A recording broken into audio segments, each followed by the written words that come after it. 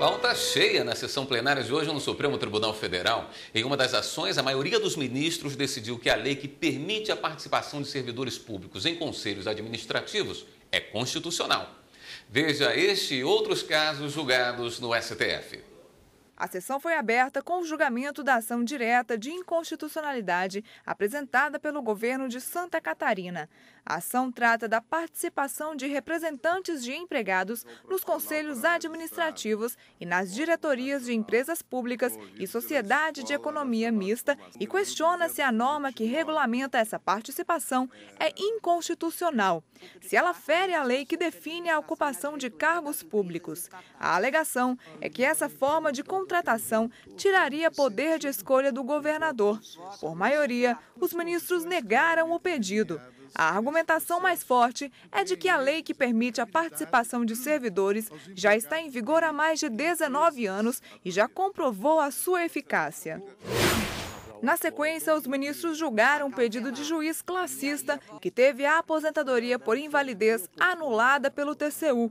O órgão alegou que, embora ele tivesse os requisitos para a aposentadoria por invalidez, continuou a trabalhar normalmente, o que seria motivo suficiente para negá-la.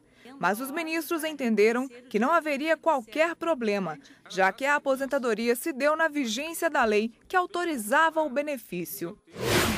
O plenário julgou também a ação direta de inconstitucionalidade apresentada pelo governo da Paraíba contra a lei que prevê criação de página na internet pelo TCU para divulgação de contas e gastos públicos.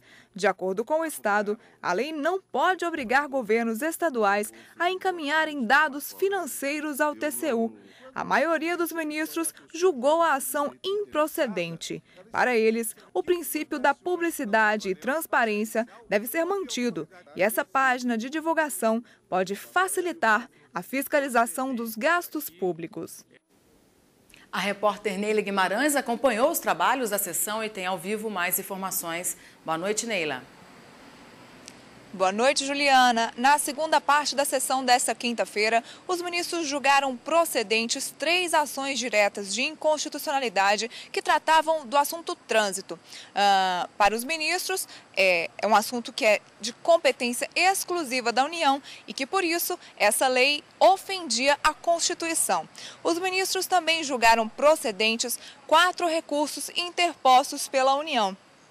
É, esses recursos é, pediam a autorização a par, para, para que a União participasse de recursos de seu interesse. Os ministros autorizaram a participação da União nesses recursos, é, é desautorizando o CNJ. De acordo com o CNJ, dois, dois recursos específicos que se tratavam de pagamento de auxílio moradia de juízes estaduais não interessariam a União, simplesmente por se tratar de pagamento e gasto estadual. William, é com você.